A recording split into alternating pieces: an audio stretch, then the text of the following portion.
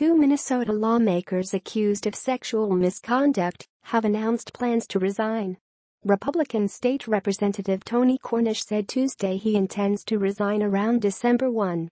Cornish said in a statement he has reached an agreement in principle with an unnamed female lobbyist who told Minnesota Public Radio News that Cornish had propositioned her for sex dozens of times and once forced her into a wall in an attempt to kiss her. Cornish says the agreement calls for him to apologize and resign.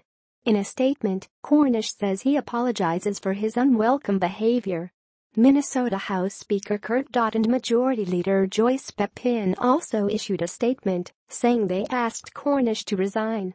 Earlier Tuesday, an attorney for Minnesota State Senator Dan Schoen says Schoen, a Democrat, plans to resign in the wake of accusations of sexual misconduct. Their announced resignations come as U.S. Senator Al Franken, D. Minnesota, is accused by two women of sexual misconduct before and after he reached the Senate. He has not announced any intention to step aside while a Senate Ethics Committee probes his conduct.